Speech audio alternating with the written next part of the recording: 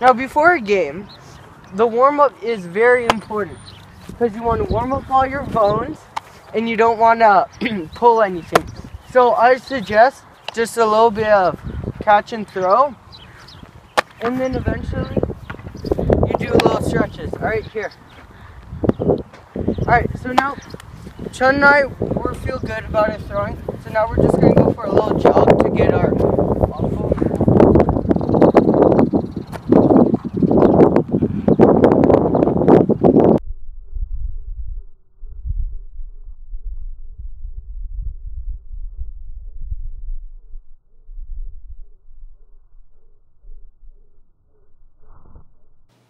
Two thousand years later.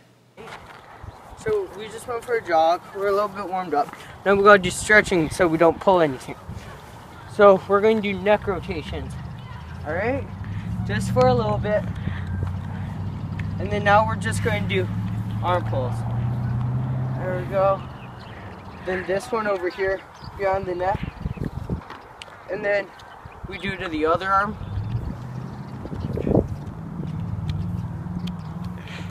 All right, now we just do toe touches. Now I like to uh, work your way all the way down, and, and just you slowly want to go. You don't want to be bouncing, that could hurt you later on.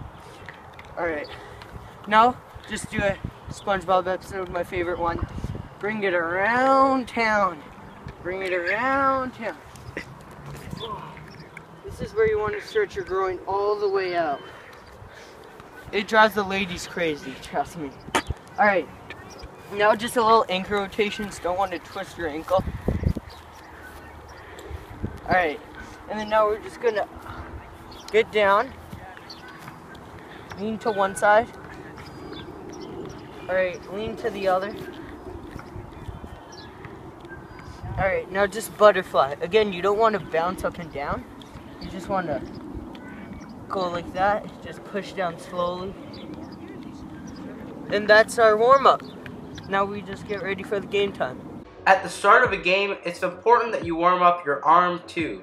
You won't want to go onto the field throwing cold. It's time to get to some simple throwing mechanics. The first thing you want to do with baseball is not start to throw too hard too early. So first we just have to warm up with a nice easy step.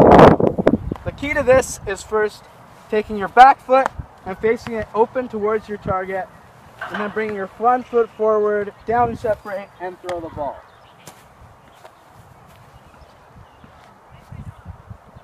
As easy as that. Bringing your arms down when you separate the ball from your glove allows you to point your glove towards the target and at the same time generate extra speed with your arm. Pointing your toe towards the target will allow for an accurate throw. If done properly, your chest will point towards the target and your glove will tuck in around your hip. Your arm will also follow through down towards your knee.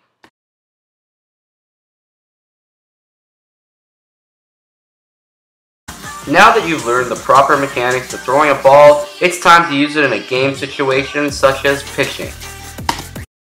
Alright, so the first thing about pitching is that you want to make sure that you do not balk. A balk happens when you do not come to a stance. A balk happens when you just go right into your pitching motion. Now, to prevent this, you're going to want to bring your glove up to your chest, take a break so that the batter gets ready, knows that you're going to pitch the ball, bring your front foot up, extend, point your glove at the target, then throw. And bring your leg all the way up here so that you're ready to field the ball. So, you want to do it all in one motion. You don't want to go like this. Like that. That's not fluent. That's not good. And now there are many pitches that you can do. I'm just going to throw a fastball. So, it just goes like this.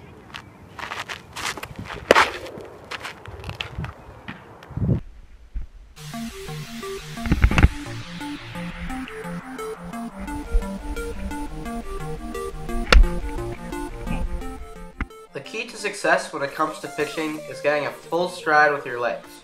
This allows you to point your feet towards your target and also cut down distance to the plate, meaning less time for the ball to be in the air, which means more accuracy and more speed.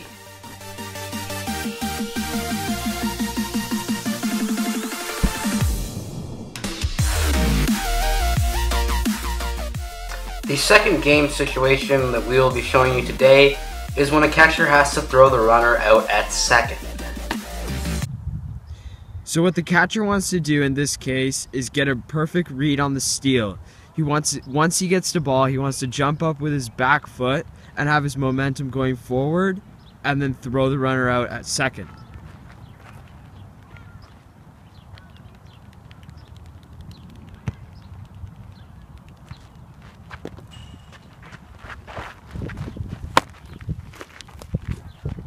Catchers must be ready for anything, even throws in the dirt. And if they want to still make an accurate throw down to second, they have to be quick on their feet and make sure their foot is pointing towards the target and generate a lot of power off of their back leg.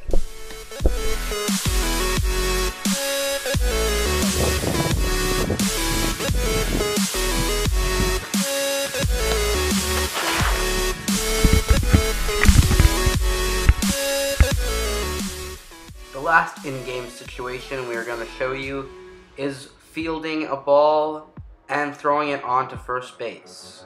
Okay, so now we're going to show you how to field a ground ball. So you want to have a wide stance and you want to be low to the ground just in case the ball goes anywhere else. You're able to shuffle and you're mobile. You want to be low and you want to have your glove low to the ground also. And once you field the ball, want to make sure your hand comes in and gets the ball. You want to also be looking at the ball the whole time and have your chest up just in case the ball takes a bounce and you have it up here, you can block it anywhere.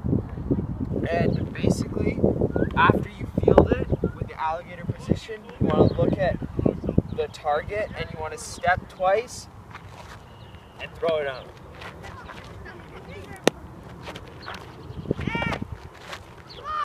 An important part of making an accurate throw to first base is to make sure your feet are planted and pointed towards the target when you make that throw. Otherwise, the ball will spray somewhere else and may result in an overthrow.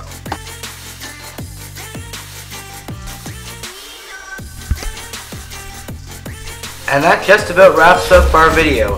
Hope you enjoyed and learned something new about baseball.